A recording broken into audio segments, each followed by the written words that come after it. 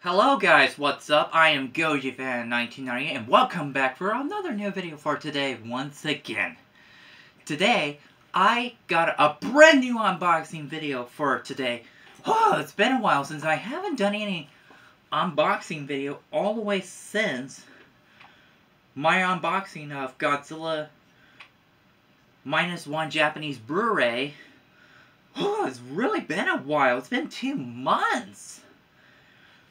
So yeah, it's good to be back to do that again, to do more unboxing videos, since I promised myself I gotta slow my channel down in case of the GFX is coming up, which is gonna be up next week on next Friday. Anyway, I got a very, uh, very great unboxing video for during my time during my birthday, which is that's today. I got a, a greatest birthday gift from my parents. Gave me one of the things I've been really want to look forward to watch again since I seen the movie about two times in the theater. So, what do I have here? Godzilla X Kong, The New Empire, Blu-ray. I'm not sure if that's the uh, couple pack with the regular DVD, but we'll find out soon in a minute. So this is the front, the side, and the back. Really cool, huh? Yes, as we know, back on March, Godzilla X Kong The New Empire just came out. It was becoming huge successful at the box office. And we also got announced from Legendary Pictures themselves. They already began to work on the direct sequel, which is on the development. So let's get this plastic cover off with my Green Razor Magnus. So we're going to have to see what the disc look like, but I'm not sure if that is the uh, Blu-ray couple pack or it's just Blu-ray. But we'll find out. But if it is, you'll know that I put in the title, so we ought to ignore, like, if I say, if, said about, I'm not sure if that was that one.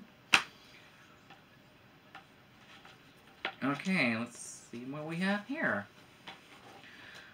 No, it's not Blu-ray Couple Pack, it's just Blu-ray itself. Look at that disc, and look at Godzilla. Really pink.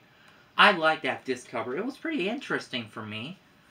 But Godzilla himself, when he is now in a new new form as Godzilla Evolved, it doesn't it doesn't even bother me. It's because it was kind of paid tribute to Godzilla 2000, the way the dorsal fin's kind of spikier for me. So anyway, that is for my unboxing of Godzilla X Kong The New Empire, Blu-ray itself.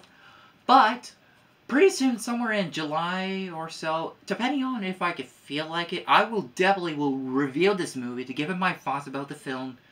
But I know all of you guys are, already share your opinion about the movie for like it or so. This is why we are here to share our opinion for the movie itself, which is, it was really good movie after I've seen the movie about two times in a row. The same record as I seen Godzilla Minus One in Japanese version when it came in America's theater selection for a limited time.